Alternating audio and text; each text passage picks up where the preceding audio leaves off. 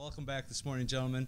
We're going to get rolling with our morning Bible study. Bernie Bresson from Ohio is going to be leading us with in that, and he can uh, share with you the instructions from here. So, Bernie, I'll turn it over to you. Thank you.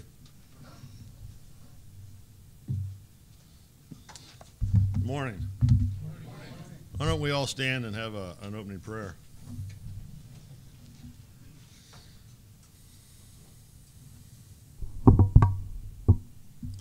Heavenly Father, we thank you for this beautiful morning. Thank you for this opportunity to meet with other LMM men from across the country. Lord, we just ask that you be with us today as we go through this training and that uh, open the hearts and minds of uh, these participants, that they uh, get some valuable information out of our uh, session today to take back to their uh, local churches and, uh, and their synods. We ask this in your holy name. Amen. If you look on the table, you'll see I passed out sheets uh, that has the the Bible study we're going to use. I'll tell you, I'm as much of a novice about doing Bible studies as you'll find. Uh, I don't uh, claim to be that knowledgeable about the Bible, but as you look in the Bible, you on the page there, you see the scripture we're going to do. It's uh,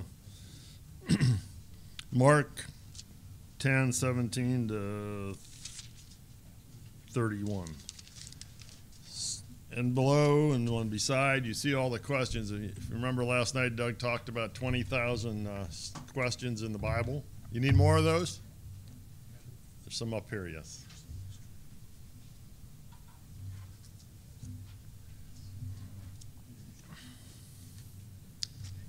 I'll wait till everybody uh, get some.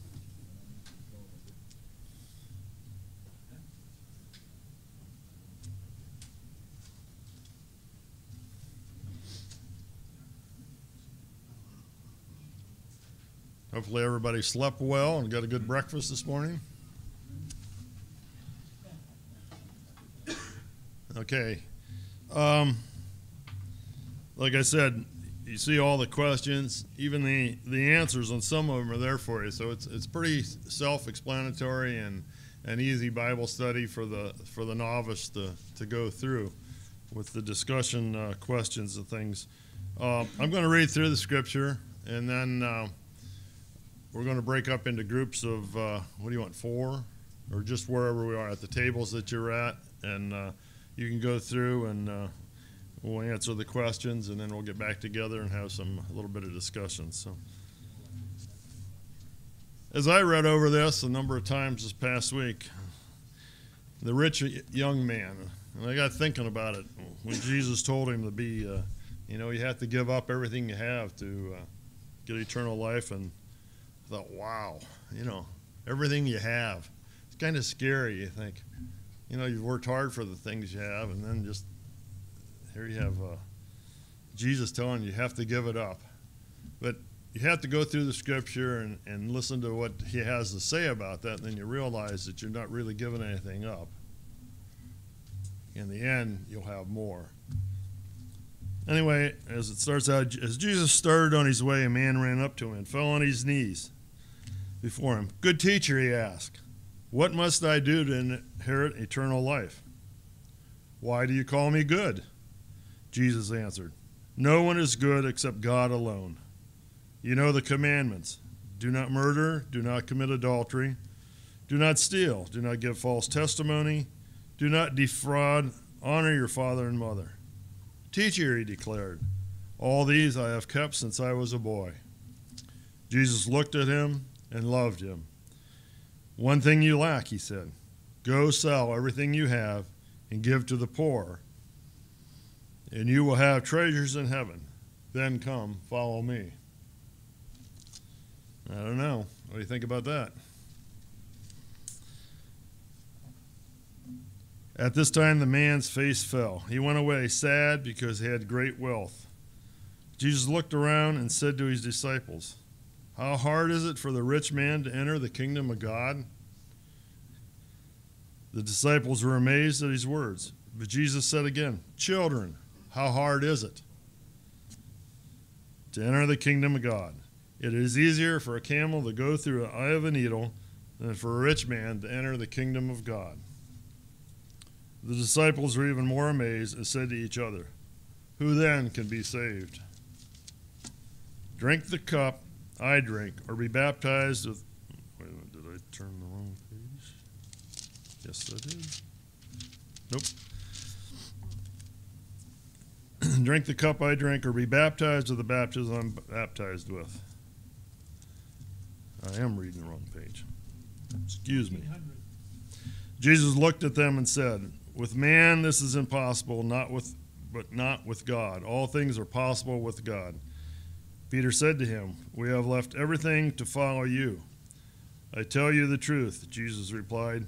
No one who has left home, or brothers or sisters, or mother or father, or children or fields, for me and the gospel, will fall to receive a hundred times, and will fail to receive a hundred times as much in this present age homes, brothers, sisters, mothers, children, and fields, and with them persecutions, and in the age to come eternal life.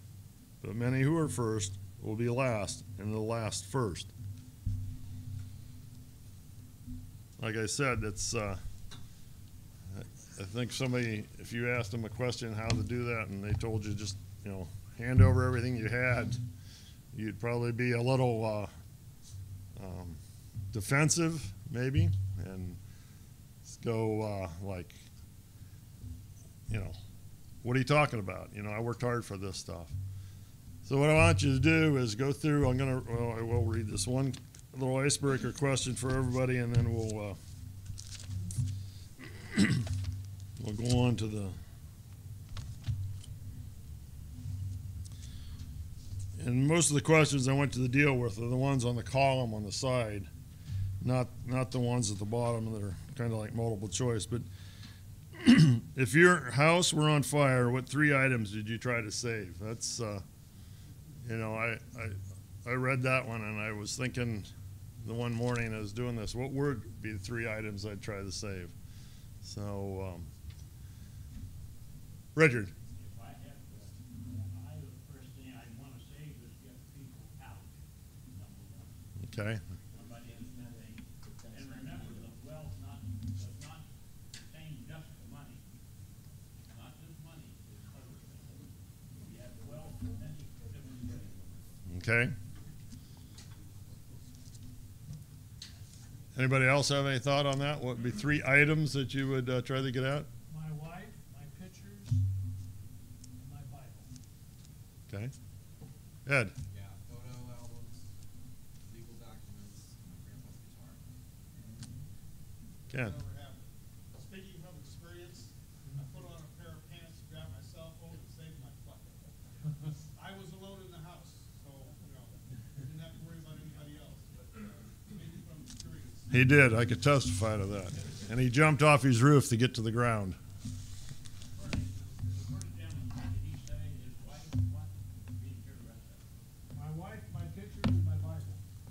Don't have his Bible.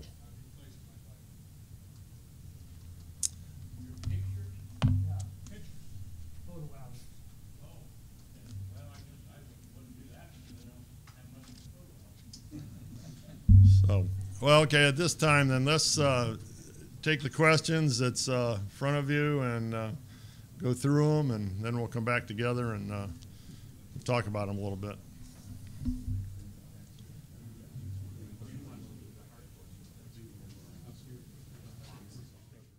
You can see by using the Master Builder Bible where there's questions there that are already in front of you that you can work off of. Makes it a lot easier to, to do a Bible study on your own and in your small group than if uh, you just picked up one of the other Bibles that's out there that doesn't have those questions.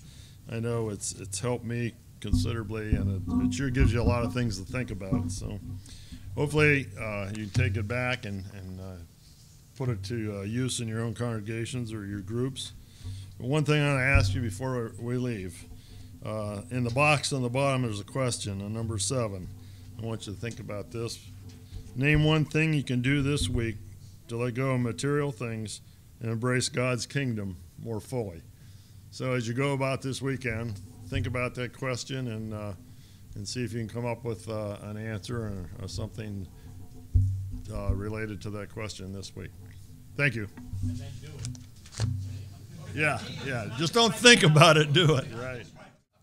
Well, gentlemen, we're going to move forward in our agenda this morning. The next uh, group of topics we've titled LMM Retreats, Resources, and Workshops. Uh, we're going to have a variety of speakers sh- sharing some of their experiences about each of these. And for, um, most of the uh, items are in your workshop, in your handbook. Some are not, but that's all right. And um, just going to first off invite Steve Brown. Steve Brown's from Nebraska, and he's been uh, helping a lot with Lutheran Mission, the One Year to Live. Currently, Steve and I are co-leading our national One Year to Live retreat retreat team. Team made up of two two guys from each retreat from across the country, and we, we have a great relationship with those guys on monthly conference calls and help create materials and also keep each other motivated and uh, and uh, spiritually blessed by being with each other. Steve, It's a good job turn over to you, with brother. You too, bud. Here's uh, you want the clicker on this? So. Oh, I, f- I think I'll figure it out. Yeah, There you go. Well, guys, I, I, I've got to say, yeah, that's right. I got to stay here. I'm a walker, so I'm going to have to do some walking here. Yeah, I got to talk with my hands too, Jim. You know that. you know that about me, right? You're gonna be in trouble. I know. I'll throw the clicker. I, I guess, guys, I just feel that when I when I look across the room, I have people here that I've shared. I know a big piece of myself. They've shared a big piece of their self with me. I, I you know, I see Joe. I see Mike. Everybody's been through a one-year to live retreat, and I'm honored to be up here to help to represent you guys and to, to, to help push this this retreat out uh, as far as we can get it, so we can touch as many men, heal as many men as as possible. But I want to know how many how many guys here have not re- attended a retreat? Can you just raise your hands for me? Okay. Now I want to make sure you notice you're in the minority, and we want you to join the majority. So let me tell you a little bit about what what when your liver treats are all about. I'm using a baseball analogy just because there's a couple of different things. We have a playbook, we have a playing field, we recruit, right? We have referees, we have scoring. Doug's laughing, yeah. And when and then I'll wrap it up with some with some personal um, revel, revelations. I guess best way to put it. So basically, our playbook is is uh, we're on the second iteration of Lyman Coleman's One Year to Live that Doug referred to yesterday. That's copyrighted 2012 by La Mancha. Um, that's an important piece we need to make, remember, guys, especially those of you who are retreat leaders. We need to make sure this information is in every piece of our literature, from participants' guides to leadership guides, that we have that information in there. This is Lyman's property. We are blessed to be able to use this. It works, and it works as is. We tweak it, but it works as right. It works as is. It works as Doug says, besides ourselves, right? In spite of us, it works. Uh, it was been field tested. You see Doug's name, Dave Long out of Wisconsin, Jeff Fortenberry, who I was fortunate to meet in Ohio uh, just last month. It's made up of leaders guides, uh, leadership guide, a reunion guide, a, port, a participant portfolio, and then there's also a 12-week follow-up guide. And that's some of the things that we need to really look at as reunions. For those of you who have gone at leaderships in the past, uh, Lon and I are starting to push reunions, two-week, whatever. Well, some of us will be two-year re- reunions, as well as uh, forming a 12-week uh, follow-up. Uh, it's real intense. I know Mike and I have been through it in Omaha, um, but we probably have. Uh, Ned's been through it a couple times, so if you want to talk to somebody about what that's like, you know, let us know. But that's an intense environment. You really get to know the man that you're saddled up next to.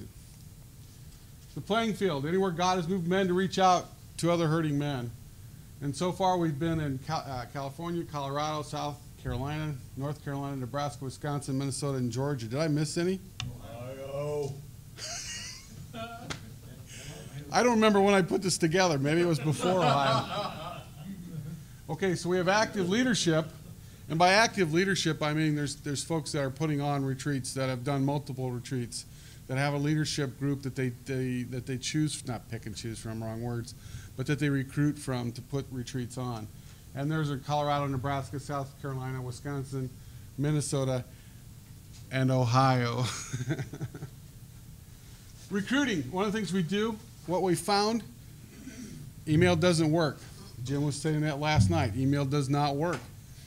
Email works for information, but it doesn't work to get the man's name on the on the uh, piece of paper and sign them up. It just doesn't work. Flyers don't work.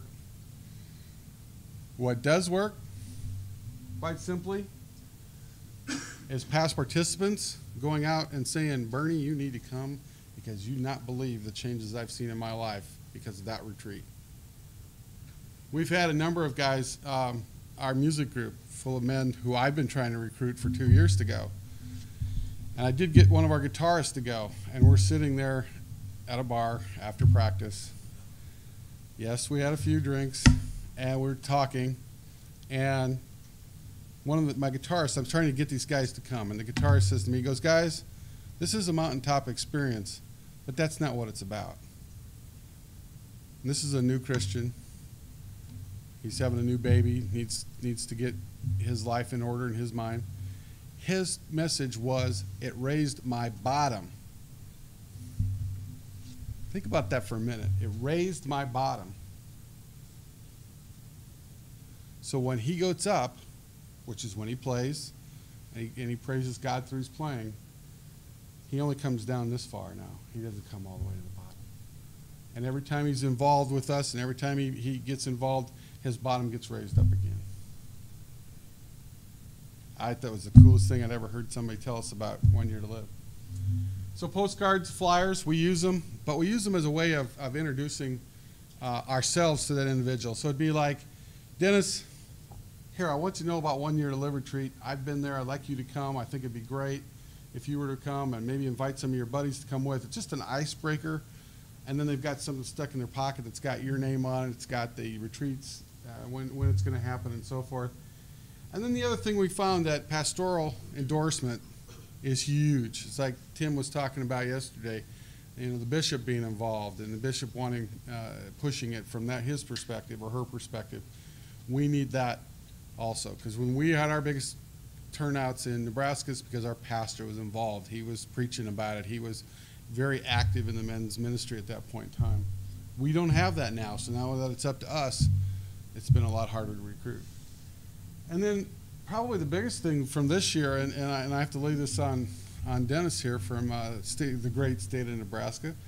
Um, Dennis does a lot of traveling for uh, the Synod, and so he sees a lot of pastors. So he's, we've put on Building Men for Christ workshops, and in our last one-year live retreat uh, three weeks ago now, five of the 11 came from there, came from Building Men for Christ workshops. Three out of the southeast cluster and no, two out of the southeast and three out of the northeast cluster. So, and as we move out west, we expect to get more and more and more. So, so I make that tie-in. Referees, two platform leaders. They're model the protocols. It's their job to show the participants what it is we're expecting from them. And they set the stage by bringing what we call our A game.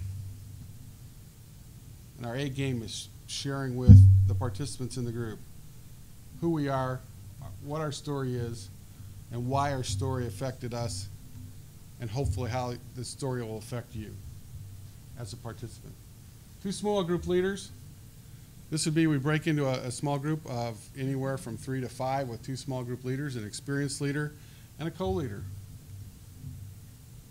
Basically, it's their job to model for their group, create and, and maintain an absolutely safe environment. And that's also on the platform leaders and leadership in general is to create that safe place. The biggest, the biggest thing that we offer a participant is the ability to create that cone of silence, as Maxwell Smart would say, where you could say anything that's on your heart that needs to be said, that needs to be out on the table. Create that safe place. And that's what our goal with the small group That's our referees. So how do we score this? Well, since 2008, we've had 150 plus leaders involved. We've had 500 plus participants, 20, 21 states, because I'm assuming Ohio's probably not in there. hey, you know, I'm a quick study. 19 participants is our average size. Uh, the largest retreat we've had is 34. We had that twice. And uh, once in Wisconsin, one in Nebraska. And then the smallest has been six. And I know that, again? Uh, as far as the states represented, does that include Alabama and Tennessee? Uh, no, we didn't do it from a participant perspective. But that's a good point. We have had, in, Ken's deal, we've, we've had people from Louisiana, Alabama, Kentucky, Tennessee. Um, so we've almost hit probably good 30 states with participants. That, that information in my database is very, very, very iffy. My wrap-up slide didn't make it. Okay. Let me wrap it up really quick. And I've had permission to share some of this stuff. This is um, a ministry, a calling that I know has greatly affected my life and my relationships with other men, with my family, and with my Lord. And I guess I want to share some of the things, some of the impact that the retreat has had on some of the guys that I've come in contact with. I was talking to Joe last night. We haven't seen each other since last October. We were in a small group together. And Joe says, he shared a story with me. He says, You know, Steve, I, I left the retreat thinking, what did this do for me? What did this really do for me? Then he got home. Went out to the fence, like we do every once in a while, talk to the neighbor, right? Started talking to the neighbor like the neighbor started talking like he used to talk. He started talking with the neighbor, and, he, and all of a sudden he went, I can't talk like this anymore. This is not me. I left that behind. And I'm not going to go into specifics, but wow. Thanks for sharing that with me, Joe. You know, it's awesome. You know, I look at I look at Mike, who I've a kid that I've slept in the same room with more often than than my kids or my wife in lately because we've been doing a lot of traveling. Too much information. Different beds. Too much information. Oh, sorry. I should show you the mask he has to wear. He does wear a CPAP, so, and I wear earplugs. So. But Mike, Mike, could you, since you're sucking on coffee, would you give me your mission statement? Sure, Steve. Um, I am Mike, a persistent and determined man of integrity, loving son, brother, father, grandfather, and friend. I exist to lead with courage, serve with compassion, and give hope to those who despair. I do this by accepting responsibility, rejecting passivity, and sharing my experience, strength, and hope with others. Amen. Bless you. So one of the things that a reason I asked Mike to share that quite quickly with you guys was lead, lead with compassion, lead work, lead when called, lead with courage. Mike, when Mike walked into the church, and I have permission to say this, but I'm on tape, so I better say it differently.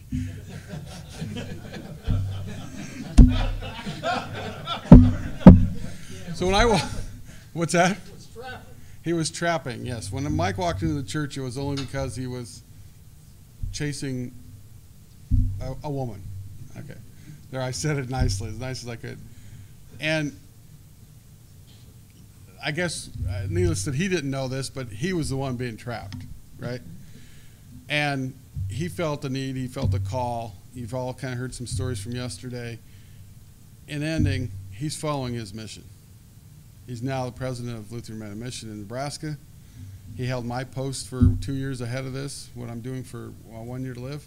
He's led multiple retreats. He's been a small group leader, a leader on well over 12 different retreats uh, in the last uh, four years. So I guess what I'm trying to hear, my point I'm making here, guys, is what is your mission? Those of you who've been to the retreat, are you following your mission?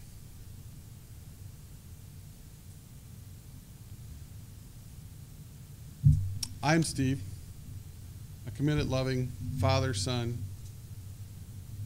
man of God. I exist to help those in healing the brokenness caused by our sinful nature. I do this by participating in men's ministry wherever, whenever, and however possible. And I'm in. Let me share a story. I got two stories, and I'm then I'm Lon. I promise you, I'm done. the one story was a couple years ago. Mike was sitting. I'm sorry, it's all about Mike, you know. But we're sitting, and Mike's he's sitting down in a chair that he never sits in in the middle of the of the lobby at, at Bethany, and he says, I looked at him and I went, uh oh. And knowing Mike has heart problems, I walked up, Mike, how you doing? I've taken my first nitro. If I take the next one, we need to call a squad. Mike says, Would you pray for me? And Barb, our director of, of youth ministries. I said, Yes, we'll do that. We took him back into his office, or her office, sat him down. Barb and I laid hands on him. I've never felt the Holy Spirit work through me before as I did that day. We prayed. Barb and I both experienced that. We talked about it to this day that the heat and the warmth that flowed from us into Mike, into Mike, was life changing for me and for Mike because he ended up in the hospital, but only to be checked out and released. The other thing, you want me to? Oh, I'm not. The other thing that, that I want to share with, and then was this just this last Wednesday. Our pastor came up to me in the service on Wednesday night and he said, Hey, a little girl's bleeding from the eye, exact words. Would you go back and, and make sure that, that she's okay and assess the situation and handle it for me? And I said, Sure. So I went back there. And she wasn't bleeding from the eye. She got hit with a with a paddle, ping pong paddle across the bridge of the nose, and of course, you know, it flowered open and it bled like stuck pig. So they were mopping the, the, the blood up off the floor when I walked in. I went, okay. Found the mom, and for whatever reason, for those of you who know me, I'm very loud and brash and can be fairly intimidating.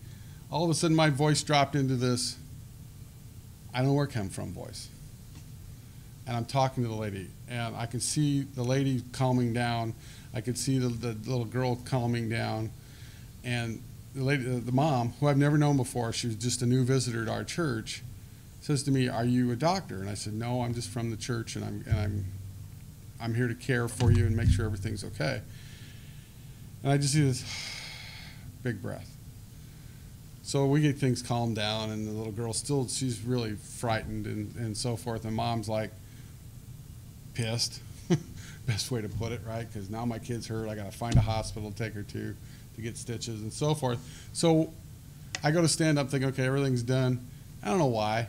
I look back down at, her, at Mackenzie and I said, Would you like me to pray for you? And Mackenzie says, Yes.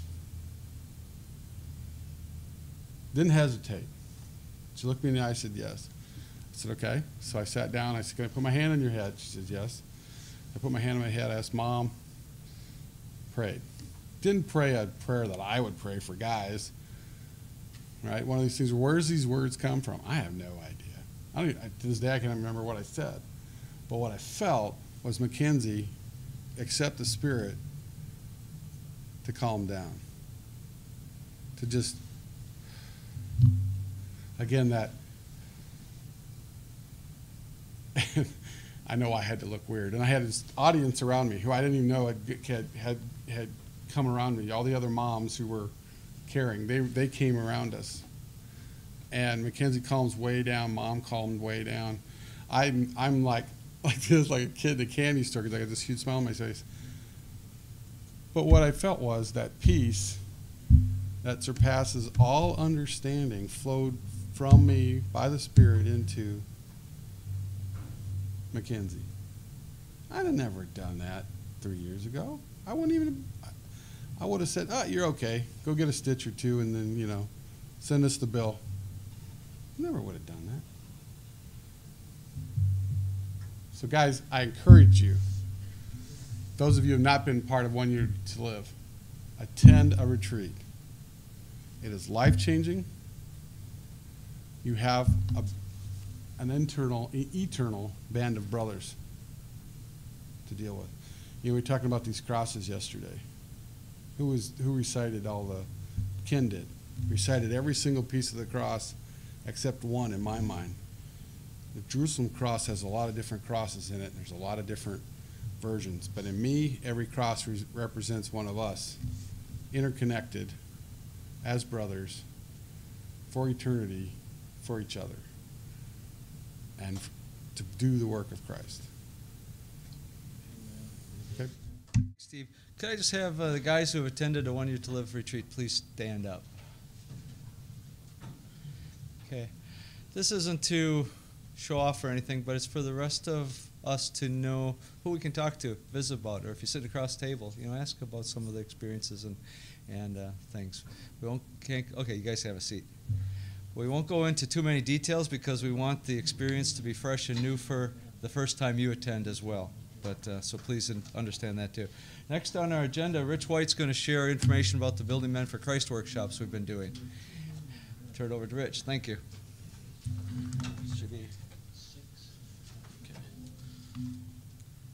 Thanks, Lon. And I come here in mourning. It was a tough night last night. The best team did not win. The baseball season is over. Okay, what can I say? So if I'm not energetic today, you'll know why. I'd like to speak about the Building Men for Christ workshop. Would you really like to? Boy, that's enthusiasm, man. It's one of these great things. Do you want me to take over? No, no, that's okay. That's okay. I think, I, I, I, I think, you know, okay. it- On behalf of all the guys, Yeah, we Okay. Thanks, there's always next year. Just ask the Cubs. Yeah. Thanks. Okay. With, with that vote of thanks and sincerity from you all helping me out, I think I'll be able to do this and talk about building men for Christ, which is a workshop that we have been doing for the last four years in response to requests from guys at churches for to answer the question how do I get a men's ministry, a men's group, something going at my church? That is a question we had for years and years. People would say, We need help. We need help.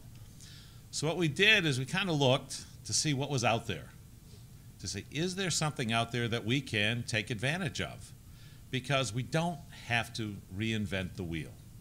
We've come to the realization that is not necessary. And what we found is that Man in the Mirror has put to, had put together a, uh, a workshop, a 44 hour workshop, based on their book No Man Left Behind. And so in the, uh, the fall of 2008, Tim, Doug, and I went to one in Chattanooga, Tennessee. Three Lutherans among 160 Baptists. But we experienced it and said, this is good stuff. There's a lot of good things here we can develop, we can work with. We talked with Man in the Mirror. Can we pick up on this? We'd like to take advantage of this and use it. Tailor it a little bit for the Lutheran, you know, our the Lutheran beliefs and traditions, but but use the basic approach. And they said, absolutely, absolutely. As long as you give us attribution. So we did. So we've picked up on that and have continued with it. And have been offering it. First time was in 2009. We've done it 15 times. We've reached over 300 guys with it. And a few women. We've actually had a few women pastors attend. And it's been really, really good when they have. Um, and what we've done is we've, we've had it not in 20 states, but we've had it in 12 so far and looking to do more. And again, what's the purpose? It's to help men at a congregation get something going, get something started, or if they have something already, enhance it and add to it. And it's we've taken it down to eight hours. We had tried 12 hours, which was a Friday night and an all-day Saturday, and we found that didn't work. It was a real problem getting guys to commit to an overnight. And so I said, okay, we can work it a little more. Worked down, left a little of this out, got it down, so now we can do it in eight hours. And that seems to have been very successful by getting to that. It's a one-day event. Typically start at 8:30, end at 4, 4:30. Um, so it, it's easy to do. And what we're doing, we're focusing on on uh, how to reach out to men in a congregation about developing relationships. Because what's men's ministry? Relationships. And that's what we're doing, trying to help them how to break down some of those barriers that are there and reach out to them. The key thing that I took from the, the, one, the event we went to the first time, the key thing that I took was that one size does not fit all. Now you may say that's obvious. And yes, it is. But to me at the time, it wasn't. And basically, what that says is you can't do one type of thing and expect that to hit every guy. There are different kinds of guys in every congregation, and Man in the Mirror has got it down to five different types of guys. And what you have to do is, is look at reaching out to the five different types of guys. And uh, an example I'll have is if you have a guy comes to church very infrequently, very infrequently, but you see him and you say, you decide, here's a guy we want to see if we can't make a connection with. And you say, Fred, we are going to do a six week Bible study on the book of Leviticus, and you would love it. What do you think your chances of success are? Yeah, probably not too high. But maybe if you said, Fred, a couple of us are getting together, going to watch a football game, have a Sam Adams or two, just kind of hang out together. Would you be interested? Hey, it might work. Or maybe we're going to a baseball game. Or we're going to work at a Habitat for Humanity project. Or we're going to build a handicap ramp. Something like that. That may work. And that's really what it comes down to. These different things to reach out. And you need to look at it in that vein. And that's what the workshop talks about. And then it talks about the man in the mirror model, which is a conveyor belt a conveyor belt. And what you think of is getting a guy on one end of the conveyor belt and then moving him across the conveyor belt, continuously moving. And that's what they have. in one end of the belt, if you look at their actual model, their diagram, it's wide. It's very wide because you're reaching out to all these different types of guys, guys, but it's not deep. The other end, it's narrow, but it's very deep because you have pulled them out like a funnel and pull them along. The rate of the conveyor belt is up to the individual. It is up to the individual. Not everybody moves at the same rate. You may make a connection next week and not have another connection for a year. But then maybe after that it's six months and then three months. Another guy may connect with him next week. The following week, something else works. So you don't know, and you have to respect that because that's the way it is. That's reality. So that's what this Man in the Mirror, uh, the uh, Building Men for Christ workshop is. It talks about that, the different types of guys. The conveyor belt moves along, offers a lot of practical examples. There's a lot of time in it for hands on. To sit down, there are a lot of worksheets to help guys lay things out, uh, templates.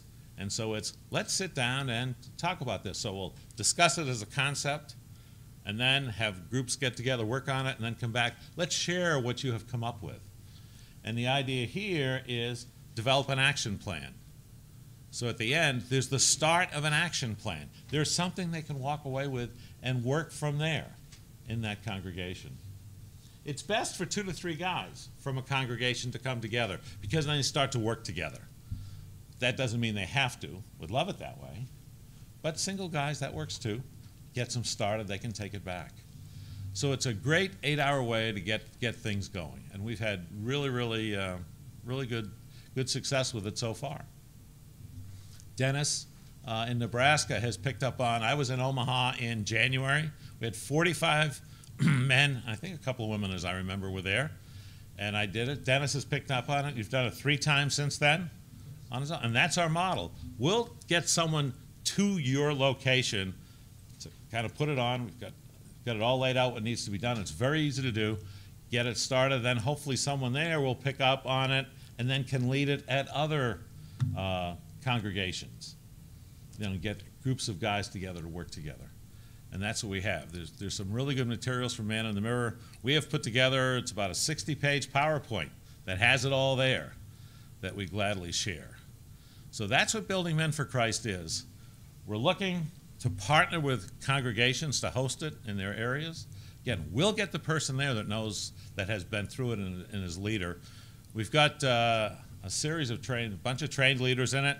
Lon's one, Doug, myself, Jim Monkman, Dennis does it, Fred Bowles, Tim has done it. So you can see we're, we're building this cadre of leaders, much in the same way of One Year to Live. And the one thing I'm working on doing is getting a person like Steve and Mike before him to be the overseer of, of no man of uh, building men for Christ, you know, for Lutheran Men in Mission that will take care of that.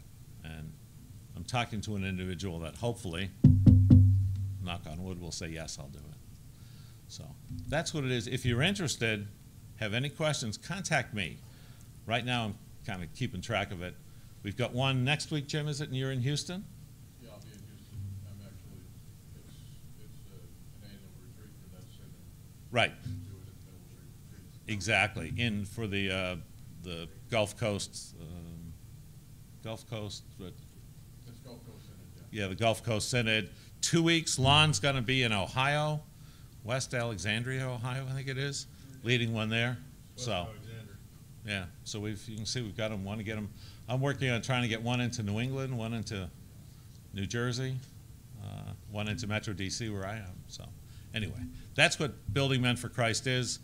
Again, if you're interested, let us know, and we'll make sure it happens. Thanks, guys.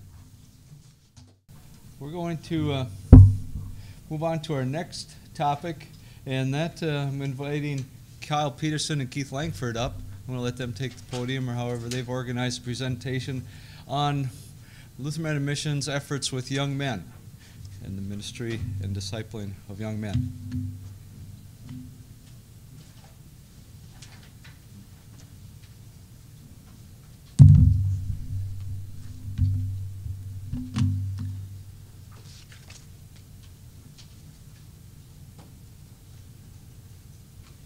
All right, good morning, everybody. Uh, my name is Kyle Peterson. I am um, on part-time staff with, with Lutheran of Mission and based out of Des Moines, Iowa, and have the privilege of been hanging out with the organization uh, for a couple years. I think I, I was first introduced to Lutheran of Mission about um, late 2007 into 2008. Um, had heard um, of what they were doing at the congregational level. I'd worked in student ministry for a while and um, jumped over to the, the corporate side. Um, and it's really been around as kind of the, the um, one of the faces of the young men the last couple of years. Um, so continue kind of in the role of young men's uh, ministry specialist. Um, Keith Langford is based out of Denver, Colorado as well, actually Aurora, since I know we have some Coloradoans here.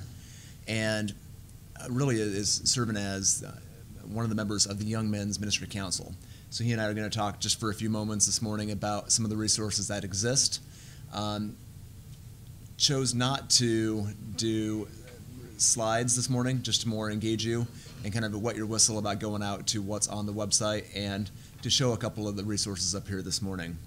Uh, four things I want to touch on: young men, and as we talk about the intergenerational ministry, because it's not just ministry to young men, because that makes it a kind of a youth group, a, oh, hey, let's go have the kids' table over here. Rather, it is going to be more intergenerational men's ministry. Um, touch on leadership development, resource development, and some of the stuff that's happening with social media. So, again, it's not just young men. Um, with the coming of age book, we do have a, it's definitely inter- intergenerational. The backstory of the young men, if you've been around for a while, has been to oh, uh, probably early 2000s. There was a talk of how do we really work with maybe the organization now known as Vibrant Faith, with the Youth and Family Institute, with a couple uh, people who were uh, had the opportunity to do some research, and we produced a resource called Coming of Age, and I think it's over here on the resource table as well. um, there is a a lot, a lot of research being done about faith formation in young men and exploring the identity and spirituality of, of young men. And while it's going on about 10 years old now, it's still uh, very crucial. And looking at the last, the one of the appends is, or addendums, is, or I guess it's an appendix. Uh, there's too, too many of those A words running around um, about the IGO model. And really what we've realized with with Young Men's Ministries, it's not, as I mentioned a moment ago, not doing a a young men's ministry, making it a youth group. It's going to be um, being involved in men's lives, not just doing programming for young men, but um, really coming alongside, walking alongside, and making that happen as well. And so the Keith, can I? Um, I'm, I'm going to maybe bug you for a moment and say, do you want to talk a little bit about the the IGO model and some of your experiences the last couple years with that? I mean, give us the overview of, of that since you know that fairly well as well. So, see what we can do. So, tag.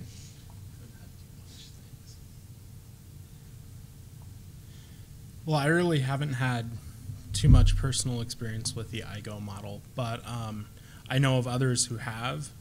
Uh, Larry Moeller from California would be one who has had a lot of experience with that model of identify, invest, or identify, invite, and invest. And it's just a good way to build a relationship that doesn't come across as phony or, oh, I'm going to do this out of guilt. You know, um, we're kind of good at that. So it comes across as something much more authentic. You get to build a relationship and do ministry at the same time. So.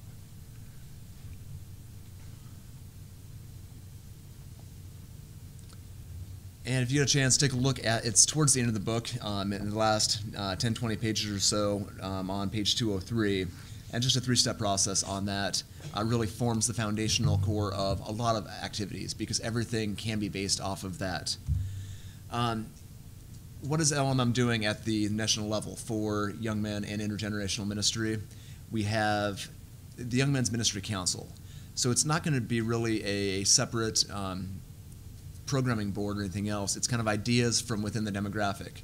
To have a, a, group of young guys that rotate through who can be a sounding board as well as a idea generation pool for the main um, board of directors and the leadership of the national organization. And so it's really kind of real time feedback to the Lutheran Men Mission Board and try to get them geographically dispersed. Uh, that way, we've got guys from the Pacific Northwest, um, from the Southwest, from um, central states, as well as the, the regions in the Northeast and Southeast. Uh, just because of the way we as Lutherans are geographically dispersed, um, we tend to kind of hunker into the, um, the marked territories that Lutherans are already in. And so we, I, I think we, we try to keep a oh, about eight to ten guys in, in, pocket that we have as resources that can, based on seasons of life, um, being available for resources around here and there.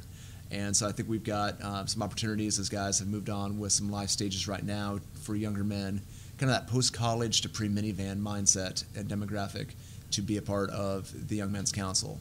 We've got a couple guys that are based out of the um, the Denver area, uh, guys that are based out of the uh, western Kansas area, um, people that are in Indiana and Minneapolis and kind of the Des Moines area as well, and talking to a couple other uh, gentlemen that are from the East Coast as well. And so we really want to have them be resources in your neck of the woods.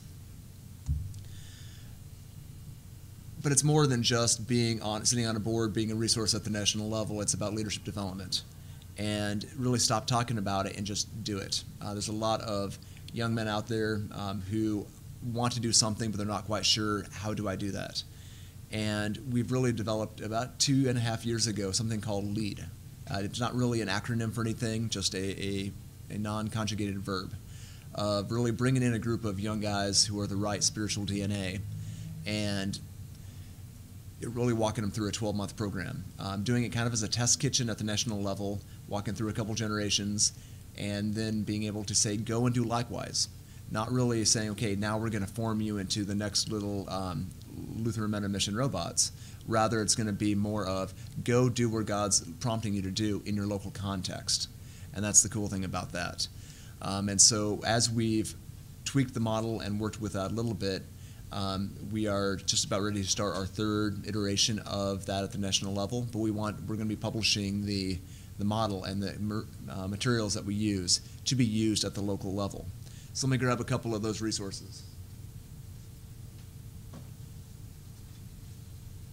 in that 12 month in that 12 month context that we use we um, we do monthly conference calls um, and, and have some kind of kind of homework in, in some ways it's a certificate program to say you know when we get done with this 12 months we'll have walked from A through Z and really hear some of the takeaways that you have in your toolkit and really taking a look at the the study of where young men are at um, Michael Kimmel has a book called Guyland it's a not a faith-based book it's just a snapshot from about three years ago that looks at young men, uh, the young men's culture, and indicating what that is.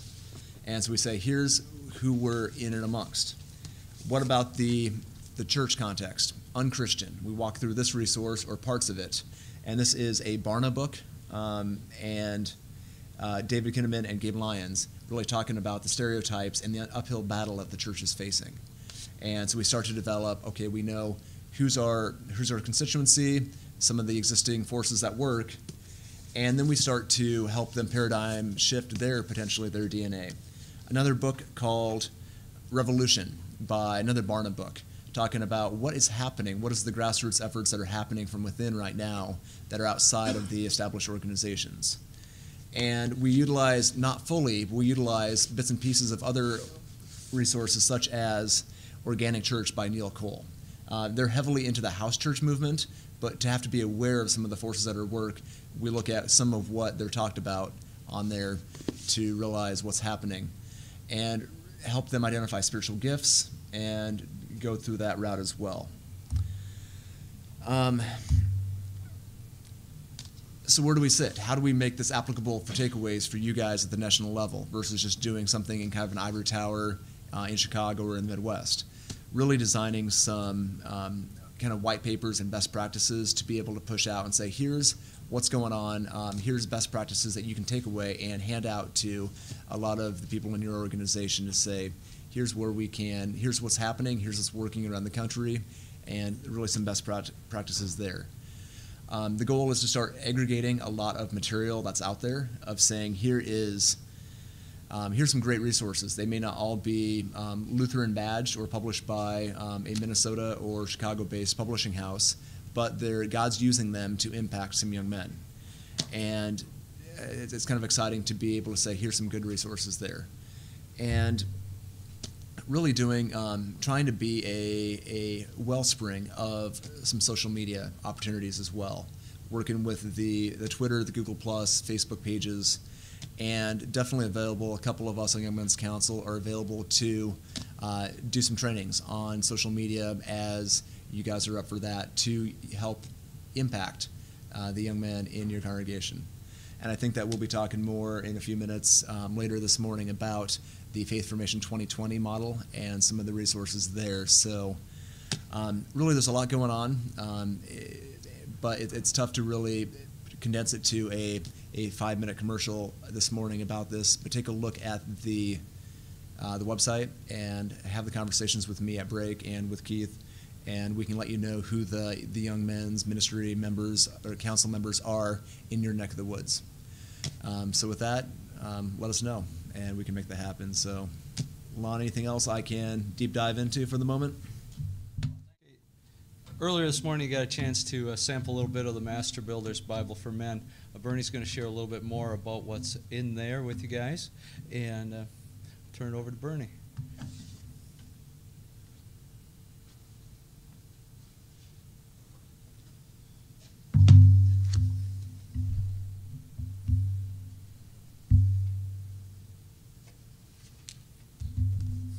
Once again, guys. Um, I gotta admit, just in the last few weeks, I actually uh, got into these first 32 pages of our Bible, Because I had, the original Bible I have is the one that has, some of you have seen, that has a green uh, master builder on the front instead of the blue one. That was one of our earlier editions that we put out, one of the first ones.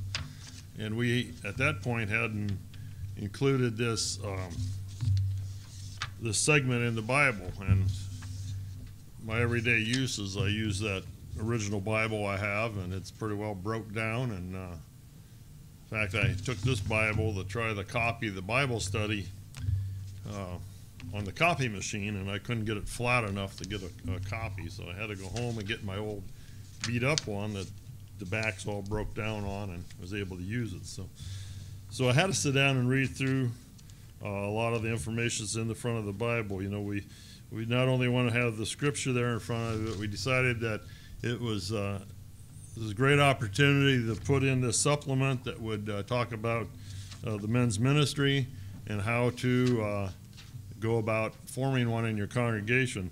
And if, I don't know how many of you have your Bible with you, but it uh, it just has a lot of uh, different um,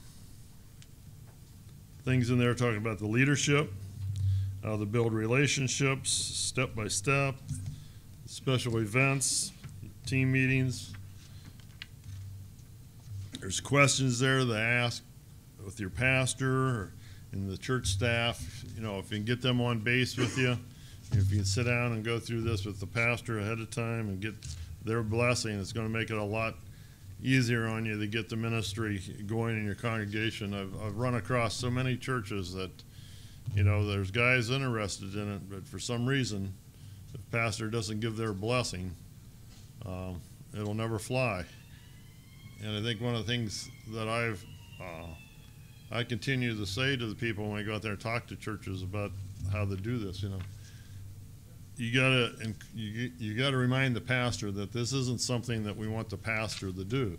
All we are asking of the pastor is their blessing. They don't need any more Bible study groups to lead or whatever it might be, and head up the ball team or whatever. They, but if they give you that blessing and, and occasionally can come and participate in, uh, in one of your meetings or your Bible studies, that's great. But it's not something that you're expecting them to do all the time. They have enough.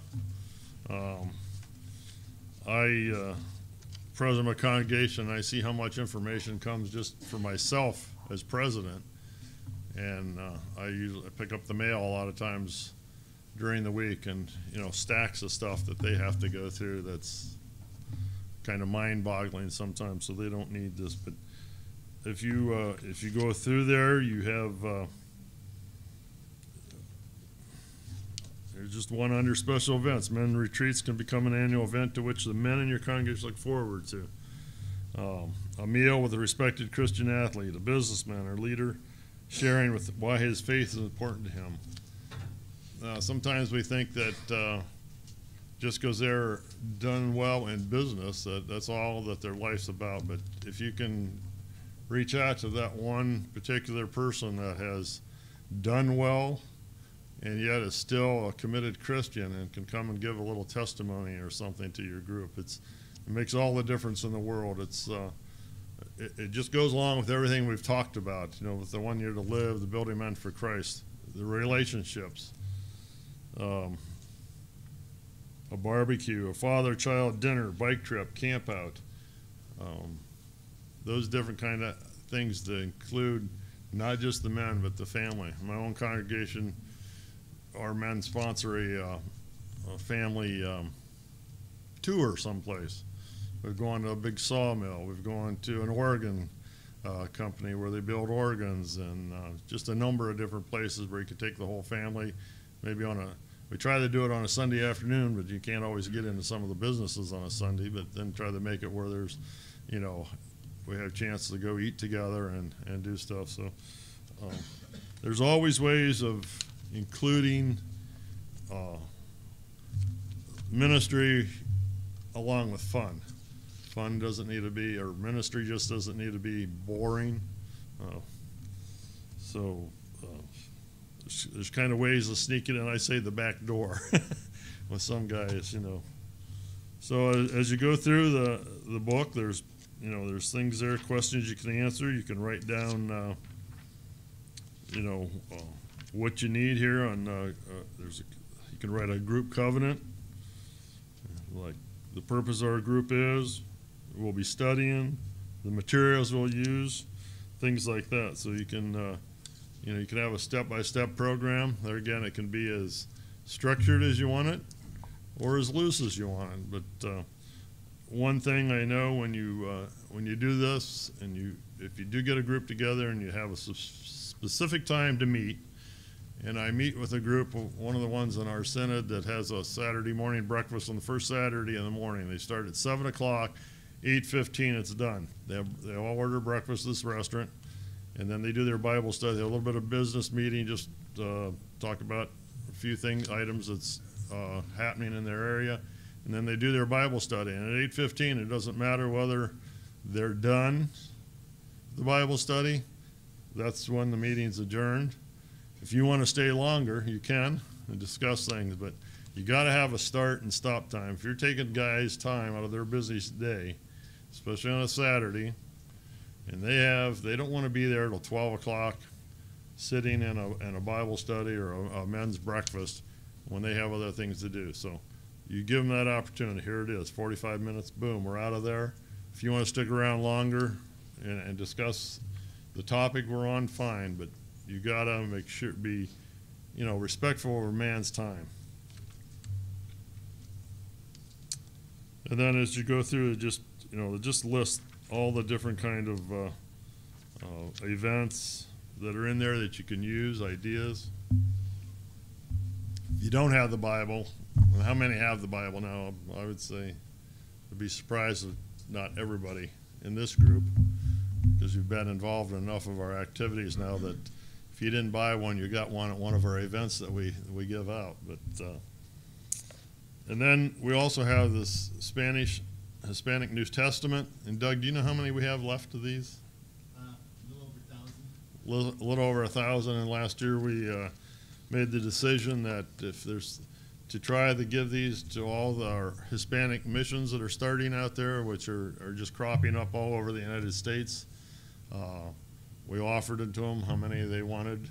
Uh, I think Doug said somebody was taking some someplace this weekend, or you didn't get them for them.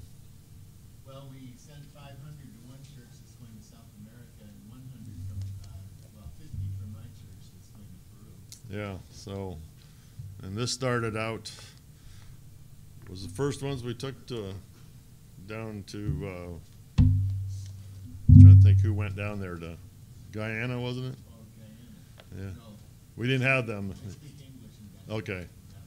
But, uh, we've made them available to take into the, those other countries that speak Spanish. I've, I've, uh, distributed some in my own synod where we have a couple, uh, Hispanic, uh, congregations. Oh. I think that's about it, guys.